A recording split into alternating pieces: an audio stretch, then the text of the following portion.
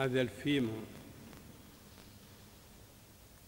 ο Θεός ημάς τους Αποστόλους επιθανατίους ανέστησε ως θέατρον αγγέλης και ανθρώπης.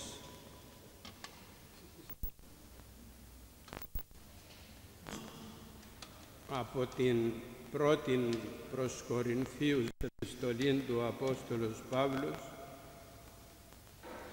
μας δίδει σήμερα να γνωρίσουμε τι είναι οι χριστιανοί και τι είναι οι μη χριστιανοί.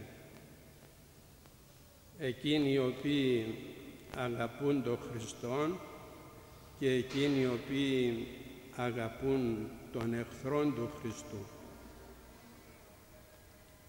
Είναι δε και το σημερινό Ευαγγελικό ανάγνωσμα ένα σημείο για να ξυπνήσουν εκείνοι οι οποίοι λέγουν ότι δεν υπάρχει δαίμονας εκείνοι οι οποίοι λέγουν ότι αυτά είναι παραμύθια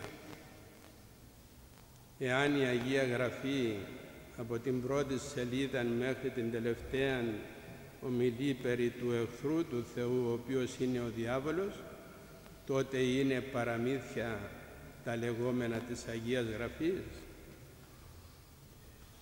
Πλην όμως ο Απόστολος Παύλος σήμερον απευθύνεται στους Κορινθίους οι οποίοι ήκουσαν το Λόγο του Θεού και ενόμισαν ότι υπερέχουν και των Αποστόλων ακόμη διότι έγιναν χριστιανοί. Είναι το σημείο εκείνο το οποίο ξεγελά ο διάβολος των άνθρωπων όταν εξομολογηθεί ότι πλέον έχει αγιάσει. Πλην όμως η εξομολόγηση είναι η αρχή της μετανοίας του ανθρώπου. Να μην καυχάται και να λέγει ότι εγώ πλέον έχω εισέλθει στον παράδεισο και δεν ενδιαφέρομαι δια τα άλλα τα οποία οι άλλοι ενδιαφέρονται. Έχω σωθεί, λέγει, εγώ, διότι εξομολογήθηκα. Πλην όμως μετά από την εξομολόγηση παραχωρεί ο Θεός μεγάλη δοκιμασία. Εκείνος ο οποίος εξομολογείται, εκείνος ο οποίος γνωρίζει το φως, εκείνος θα διέλθει διαπυρός.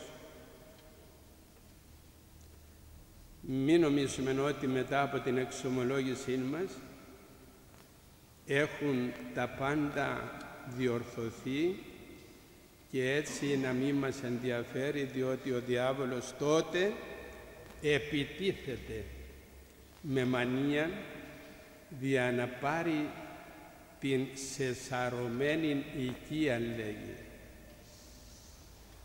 Όταν εξομολογηθούμε αδερφοί μου καθαρίζει η ψυχή μας. Δινόμας ο εχθρός τρίζει τους οδόντας και τι κάνει; Φεύγει από τον άνθρωπο ο οποίος εξομολογήθηκε μεταφέρεται εις όρη και βουνά, εις δάση και θαλάσσας και ωκεανούς, δεν ευρίσκει ησυχία και τότε παραλαμβάνει, λέγει, άλλα επτά δυνατότερα δαιμόνια και έρχεται πίσω εις τον άνθρωπο ο οποίος εξομολογήθη για να καταλάβει, λέγει, την ψυχή του η οποία είναι καθαρή. Δι' αυτόν τον λόγο να μην είμαι θα ήσυχη μετά από την εξομολόγηση. Μετά από την εξομολόγηση να αρχίζει ο αγώνας ο τεράστιος.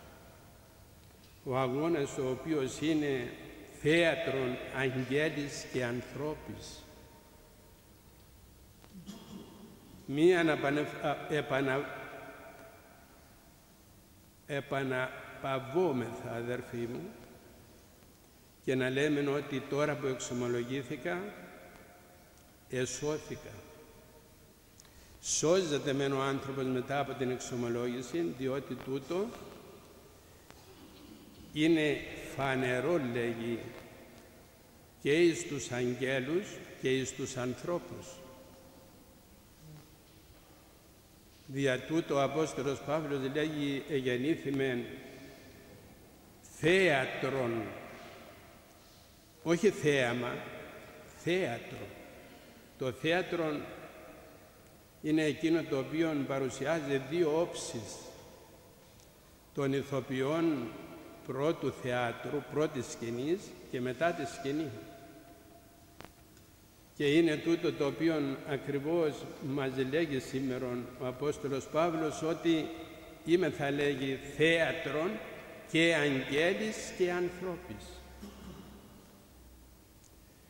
Να μεταβούμε αδερφοί μου στους αγγέλους. Οι άγγελοι έχουν δύο παρατάξεις. Οι άγγελοι του Θεού και οι άγγελοι του διαβόλου. Όταν ο άνθρωπος μετανοήσει, οι άγγελοι του ουρανού πανηγυρίζουν επί ενή αμαρτωλό μετανοούνται. Οι άγγελοι του Θεού χαίρονται διότι έφυγε μία ψυχή από την κόλαση και ήλθεν στον παράδεισο. Φοβερόν το μυστήριο της μετανοίας, αδερφοί μου. Αλλά μετά από την εξομολόγηση δεν αποθνίσκομαι ή το ευχής έργο μετά από την εξομολόγηση που είμαι θα στην αγκάλη του Θεού να φύγουμε από αυτόν τον κόσμο και να πάμε στον παράδεισο. Διότι μετά την εξομολόγηση είναι η σωτηρία του ανθρώπου. Πλην όμως ο Πανάγατος Θεός λέγει ότι εγώ το παιδί μου θέλω να το δοκιμάσω τώρα. Θα μείνει κοντά μου ή θα επανέλθει πίσω; Δυστυχώς επανερχόμεθα πίσω στην προτέραν αμαρτωλών ζωή. Και αντί να δείξουμε μετάνοια με τα έργα μας, δείχνουμε μετάνοια η οποία δεν έχει ειλικρίνεια. Διαπράττουμε τα ίδια και χειρότερα. Φεύγουμε από την αγκάλη του Θεού και προτιμούμε να εισέλθουμε στην αγκάλη του αγγέλου του διαβόλου. Δι' αυτόν τον λόγο οι μεν άγγελοι του Θεού χαίρονται δια τη μετάνοιά μας οι δαίμονες, λέγει ο Απόστολος Παύλος, τρίζουν τους οδόντας και αφρίζουν και λέγουν πώς μας έφυγε αυτή η ψυχή και τι θα κάνουμε για να την συλλάβουμε και πάλι. Να την εχμαλωτήσουμε και πάλι. Να την δέσουμε με τα σαλισίδας της κολάσεως. Αυτή είναι η μανία του διαβόλου διότι ο διάβολος δεν δύναται να πράξει τι εναντίον του Θεού και επιτίθεται εναντίον των δημιουργημάτων του Θεού που είναι ο άνθρωπος. Είναι εκείνο το οποίο λέγει ο λαός ότι όποιος δεν μπορεί να δείρει τον γαΐδαρο λέγει δε, δέρνει το σαμάρι του δεν μπορεί να κάνει τίποτα στον Θεό, δεν μπορεί να τα βάλει με τον Θεό. Και τότε επιτίθεται εναντίον του ανθρώπου. Ο οποίος άνθρωπος είναι εκείνος ο οποίος τον έπλασε ο Θεός για να κερδίσει τον παράδεισο. Ο διάβολος βλέπει τον παράδεισο, βλέπει και την κόλαση και τότε επιτίθεται με μανία εναντίον του ανθρώπου να μην τον αφήσει να εισέλθει στον παράδεισο. Μην νομίζουμε, αδερφοί μου, ότι είναι μικρός ο αγώνας τον οποίο πρέπει να καταβάλουμε για να κερδίσουμε την αιώνιον ζωή. Να μην εφησυχάζουμε. Τούτο λέει ο Απόστολος Παύλος σήμερα στους Κορινθίους. Τι ενομίσατε λέγει, ότι είστε εσείς σοφοί και εμείς είμαι θα τρελοί λέγει. Έτσι μας λέγει ο κόσμος. Εμείς μορίδια Χριστών. Όπου και αν περπατήσουμε, αδερφοί μου, σήμερα, αυτό ακούμε. Αυτό απολαμβάνουμε. Όταν ομιλήσεις δια των Θεών ή είσαι με τον Θεόν, τότε λέγει ότι αυτός τρελάθηκε πλέον. Έφυγε το μυαλό του. Εάν το μιλήσεις δια των παράδεισων και την κρίση του Θεού, γελά. Είναι αυτός ο οποίος νομίζει ότι τα ξεύρει όλα και τίποτα δεν ξεύρει. Είστε, λέει ο Απόστολος Παύλος στους Κορινθίους, πλούσιοι, λέει. Επλουτίσατε, έχετε χρήματα πολλά, λέει. Εμείς, λέγει, θα άτιμοι. Δεν έχουμε τίποτε στα χέρια μας και γυρίζουμε λέγει από τόπου εις τόπον για να απολαμβάνουμε την έχθρα του κόσμου. Εχθρός ο άνθρωπος εις τον διάβολον, ευπρόσδεκτος εις τους αγγέλους του ουρανού. Δια τούτο τονίζει ο Απόστολος Παύλος ότι γεννήθημεν θέατρον λέγει και αγγέλης και ανθρώπης. Οι άγγελοι του ουρανού πανηγυρίζουν, οι δαίμονες επιτίθενται. Να έρθουμε όμως και στον κόσμο της αμαρτίας. Είμαι θα θέατρος, λέγει, και αγγέλης και ανθρώπης. Οι άνθρωποι δύο παρατάξεις. Η, παράξη η παράταξη η οποία όταν δει έργα, όταν δει ανατροφήν, όταν δει συμπεριφοράν, όταν δει ευγένεια και τρόπους, όταν δει πίστη, ο άνθρωπος ο πιστός χαίρεται, αγάλεται. Όταν δει όμως ο κόσμος, ο κακός, των εκλεκτών του Θεού, τον οποίον εξέλεξε ο Θεός, τον υγείασε ο Θεός, τον έκανε δικό του παιδί, τότε οι άνθρωποι της αμαρτίας δεν έχουν τίποτε άλλο να πράξουν ή μόνο να καταδιώξουν όσων μπορούν τους εκλεκτούς του Θεού. Από πού να αρχίσουμε, αδερφοί μου, για να δούμε τον κόσμο των κακών; Να αρχίσουμε από τον ίδιο τον Χριστόν. Τι έπραξε ο Χριστός μας; Αχάριστε λαέ. Εγώ λέγει τους τυφλούς σου ανέβλεψα, τους παραλίτους σου τους ανόρθωσα, τους λεπρούς σου τους εκαθάρισα, άντρα όντα επικλίνεις ειν ορθωσάμιν. Λαέ μου τι τα πέδοκες από εκείνα που σου έδωσα εγώ. Αν πει του αγαπάν με, σταυρό με προσιλώσατε. Αυτή είναι η αγάπη σας διεμέ εγώ που σας έτρεφα μέσα στην έρημο με το μάνα του ουρανού, εγώ που σας έδωσα την αγάπη μου και κατέβηκα για να σας σώσω, εγώ που εταπεινώθηκα άφρη θανάτου, θανάτου δε σταυρού, εγώ που έχισα το αίμα μου για να σας σώσω, τι με ανταπαδόκατε; Και ο άνθρωπος, ο αχάριστος άνθρωπος, ο άνθρωπος της αμαρτίας δεν έχει τίποτε άλλο να πράξει μη μόνο να φανερώσει την αχαριστία του εις τον Θεόν με την βλασφημία και την ύβριν εναντίον του. Και όταν τον οδηγούσαν οι εχθροί του εις των σταυρών διά να τον θανατώσουν και όταν τον εκάρφωναν επάνω εις τα καρφιά και εις το σκληρό σανίδι και το ξύλο του Σταυρού τι έπραξαμε; Μήπως επήγαμε να σπρώξουμε τους σταυρωτάς και να πάρουμε εκείνα τα καρφιά να ελαφρώσουμε τον πόνο του Χριστού μας; Και όταν επάνω στο σταυρόν προσήφιε το Πάτερ άφης αυτής σου γαρίδας ετυπιούσιν ημείς μυρμηγκιά οι εχθροί του κάτω από το σταυρό του τον βλασφημούν και τον υβρίζουν, τον περιγελούν και τον ηρωνεύονται. Και εκείνος μέσα σε εκείνο το πλήθος το εχθρικό μας βλέπει και λέγει «Παιδί μου διψώ,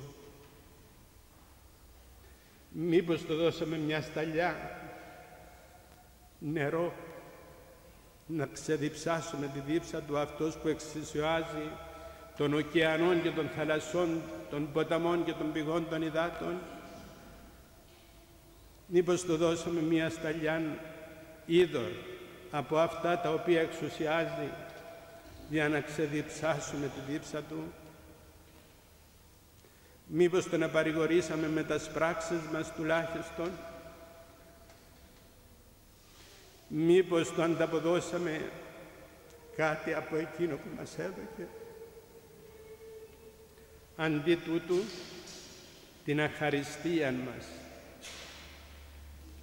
αντί τούτου την αγνωμοσύνη μας, αντί τούτου την σκληρή καρδιά την οποία έχουμε. Μήπως ετηρήσαμε αυτά τα οποία ετήρησαν οι Άγιοι του Θεού, αλλά όσοι αγάπησαν τον Χριστόν όλοι εμαρτύρησαν. Ο κόσμος ο κακός και αγγέλης και ανθρώπης. Οι άνθρωποι της αμαρτίας θα καταδιώξουν εκείνον ο οποίος αγαπά και ομολογεί τον Θεόν. Θα τον καταδιώξουν με όλα τους τα δυνάμεις θα τον διασύρουν. Θα καθίσουν πίσω του και θα ανοίξουν το στόμα των και θα πούν όσα δεν μπορείτε να φανταστείτε. Αυτοί είναι οι άνθρωποι της κακίας, της αμαρτίας. Είναι οι άνθρωποι οι οποίοι δεν θα υπερασπίσουν εκείνους οι οποίοι αγωνίζονται για να δώσουν το φως στον κόσμο. Δεν θα πούνε τίποτε το καλό δι' εκείνους οι οποίοι υποφέρουν δια το όνομα του Κυρίου. Εάν μεν πράξεις καλά, οι καλοί θα σε αγαπήσουν. Οι κακοί όμως, εάν προσπαθήσεις να δημιουργήσεις κάτι δια το καλό ολοκλήρου της κοινωνίας, οι κακοί θα επιτεθούν. Εάν πράξεις κάτι το καλό, δεν το θέλουν εάν δεν πράξεις κάτι, σε κατηγορούν ότι δεν μπορείς να κάνεις τίποτε. Και έτσι ο άνθρωπος, ο εκλεκτός του Θεού, εκείνον τον οποίο ο Θεός φυλάει και σκέπει, υποφέρει και πάσει. Για να έρθουν οι λόγοι του Αποστόλου Παύλου ότι γεννήθημεν θέατρον και αγγέλης και ανθρώπης. Αδερφοί μου, Ο Θεός λέγει μας τους Αποστόλους επιθανατίους ανέδειξε. Κάθε κάστην ημέραν πεθαίνουμε δια το Χριστόν μας. Κάθε ημέρα μαρτυρούμε δια το όνομά Του το Άγιον και θα μαρτυρήσουμε αδερφοί μου. Όσοι θα μείνουν πιστοί στον Χριστόν θα μαρτυρήσουν δια τον Χριστόν τα γεγονότα της ανθρωπότητος μας λέγουν να είμεθα έτοιμοι με αυτό το μηχάνημα το οποίο ο Θεός επέτρεψε στον άνθρωπο για να βλέπει το τι γίνεται στον κόσμο. Μέσα σε αυτό το μηχάνημα εκείνο το γυαλί το οποίο έχουμε στο σπίτι μας βλέπουμε μία ανθρωπότητα η οποία είναι αναστατωμένη τι είναι τούτο, αρχή οδύνων. Όταν λέει είδετε πολέμους και ακουάς πολέμων, όταν δείτε ασθένειες και πίνες και πλημμύρες και καταστροφές και σεισμούς λέγει, μη πτωηθείτε. Αρχή οδύνων, όπως η γυναίκα όταν θέλει και έρθει η ώρα της να γεννήσει το παιδί της πάσχει και οι οδύνες και οι πόνοι είναι φοβεροί στην μητέρα διότι έτσι την έταξε ο Θεός. Με πόνους και με λύπες να γεννά τα τέκνα της. Και εκείνες οι οδύνες οι οποίες καταλαμβάνουν την μητέρα τις μεταφέρει η Αγία Γραφή στον κόσμο του Χριστού όταν τα είδετε όλα αυτά λέγει τότε είναι αρχείο δίνων. Γιατί έρχεται πάνω μας αδερφοί μου; Ο Αντίχριστος ο οποίος θα λάβει μορφή ανθρώπου, δηλαδή ο αρχηγός της σχολάσεως, δηλαδή ο εωσφόρος, ο οποίος είναι κοντά στον Θεό και μετά την ανταρσία και την υπερηφάνειά του εγένετο το ασχημότερο των δημιουργημάτων του Θεού. Αυτός ο διάβολος λέγει ο εχθρός μου, αυτός θα λάβει μορφή ανθρώπου. Θα γίνει άνθρωπος και θα τον βλέπουν άνθρωπον και θα τον ανακηρύξουν αρχηγόν της ανθρωπότητος. Και όταν λάβει τα ενία τότε αλίμονον και τρεις αλίμονον. Εφτά χρόνια του δίδει ο Πανάγαθος Θεός, τριάμιση θα του αφήσει.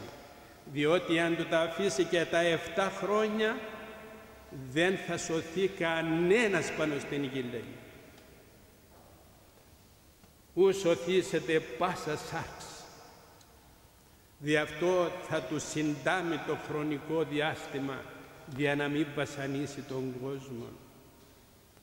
Και πώς θα τον βασανίσει, όταν τον σφραγίσει. Το σφράγισμα μην νομίζετε ότι θα έρθει να σας πει έλα να σας σφραγίσω θα έρθει η ώρα που θα το πει και αυτό. Αλλά πρωτού θα πλανήσει τον κόσμο Δι' αυτό μας είπε ο Κύριος μας προσέχετε λέει μη πλανηθείτε.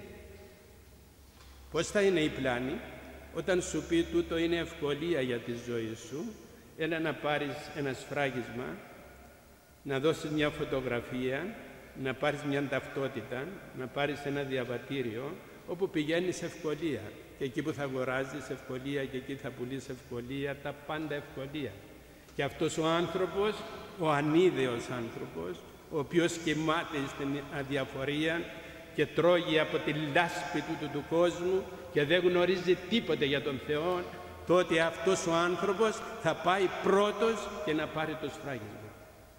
Μαρτυρία μεγάλη δια εκείνων των Μαντέλαν στην Νότιο Αφρική 300 εκατομμύρια τα έχει σφραγίσει αυτός.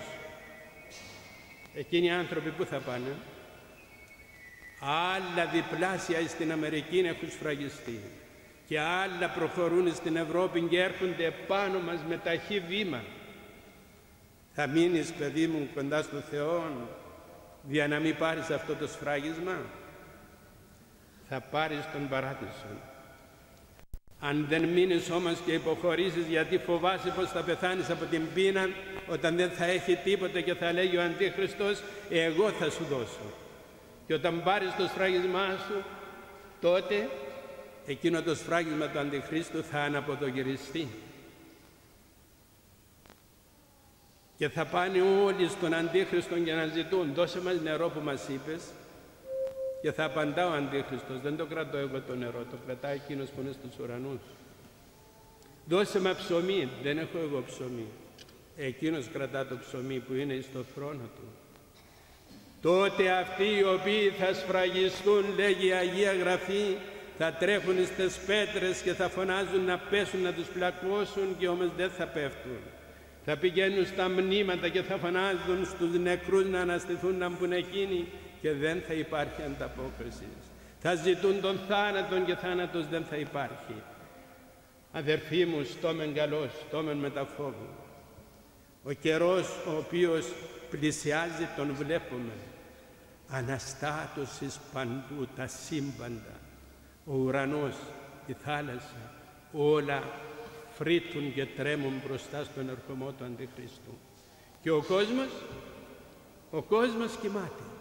Ο κόσμος είναι αδιάφορος. Δεν τον ενδιαφέρει. Δεν τον νοιάζει. Πολλοί λέγουν ότι εμάς μας αρέσει η κόλαση. Περίεργο πράγμα όμως ο διάβολος να τρέβει την κόλαση και ο άνθρωπος να του αρέσει η κόλαση. Δηλαδή χειρότερος από τον δαίμονα. Θεέ μου λύτρωσέ μας. Απόστολε του Χριστού, εσύ ο οποίος μας έδωκε σήμερα να καταλάβουμε ότι όλοι οι εκλεκτοί του Θεού, όλα τα παιδιά του Θεού θα υποστούν μαρτύρια, εσύ αξίωσε μας Κύριε στον κόσμο τούτο να μείνουμε κοντά σου άχθη θανάτου και αξίωσε μας και της επορανίου σου βασιλείας. Αμήν.